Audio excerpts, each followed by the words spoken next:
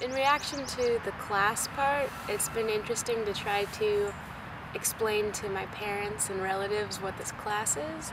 And I've kind of been able to track my own opinion of the class through different explanations. And at the beginning of the semester, um, my parents thought it was hilarious that I was going to be dancing on a landfill.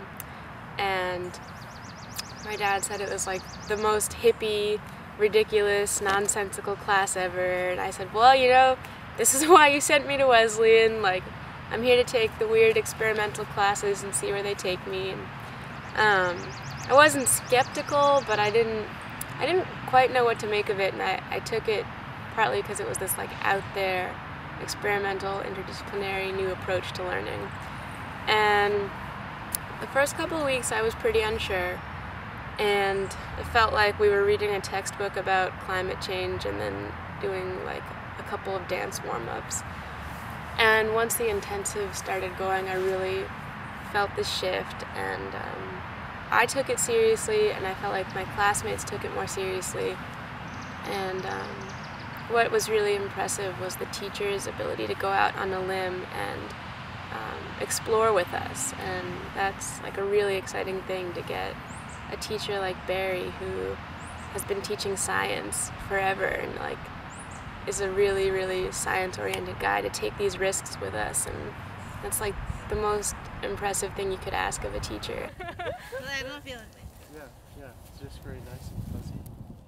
So what we want to talk about today is we want to do two things. We're going to explore some aspects of emissions. This class was an experiment to see if we could explore in depth one of the major issues facing our society and the world today, and do it in a way that will lend itself to action by our students regardless of what their opinions are. Keep a kind of um, openness about this particular exploration we're doing. I'm happy to be um, co-teaching a course with Barry in the spring, so the, the artists will be doing um, uh, scientific experiments and the scientists will. Well, the truth is that we're going to not say who's who, and that everyone will be doing everything. So that we're really breaking down the idea of these very strict Yeah. and firm disciplines um, to begin with. So I'm excited about that. the art and science together really works because it just brings in um, the left brain and the right brain and two different minds um, thinking about the same problem. And for me, the thing that I liked best about the course was um, taking lectures and information about the specifics of climate change and then sort of applying them to performances. It let us sort of express our ideas um, in a way that made sense to us.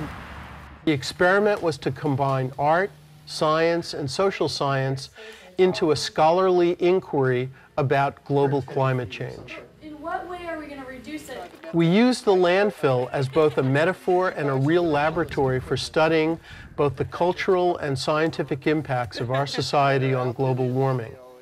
The landfill offers a spectacular opportunity for us to integrate information through multiple lenses and for us to derive a more complete and more informed understanding. During the laboratory portion of our class, we immersed ourselves in four major issues that have profound impacts upon global climate change. The first was the removal of carbon from the atmosphere by trees and plants, otherwise known as carbon sequestration. The second is about heat reflectivity and the types of surfaces on our planet that reflect heat. The third is about carbon emissions that were released into the atmosphere in order to manufacture the items now buried in the landfill. And fourth, the release of methane into the atmosphere by the landfill. Each of these projects encompassed studies and information from art to science so that the final projects would convey to the Wesleyan community as well as to the lay public ideas about global climate change. Our study of methane was very exciting because it demonstrates how art can inform science. The students first visualized the landfill as a giant burial mound in which organic materials such as vegetables, foods, and the like were not composted and therefore buried too early. They then conceptualized and later performed a New Orleans style jazz funeral for the compost that went to its grave too early. To study the methane, they constructed field devices and captured the methane that was escaping from the landfill. That's right. He's right. Go ahead.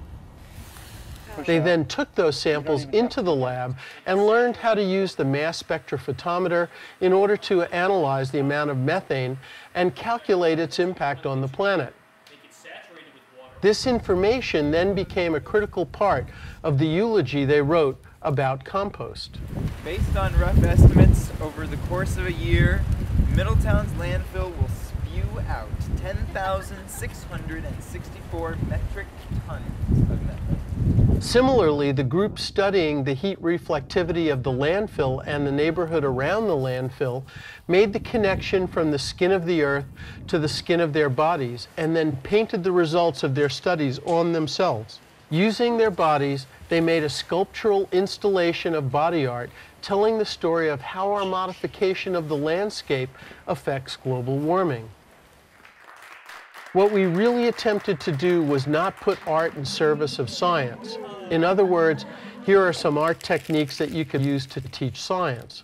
And although that can be very effective, Ann and I are trying to do something completely different.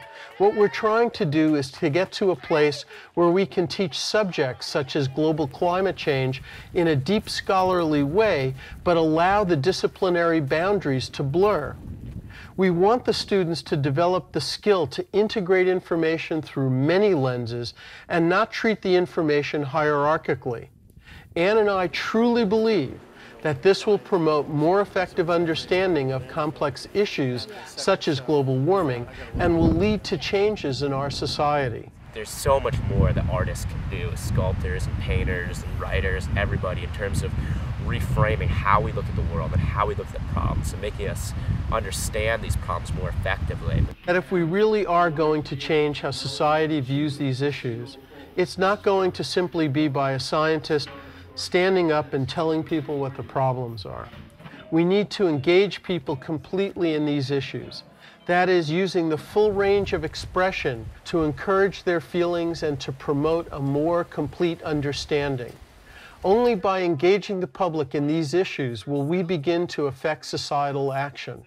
We cannot hope to do this without a full collaboration between art and science. So I can book you in. Thank you so much. I'm glad you guys are back in business. Yeah, To be open. We were closed for almost two years.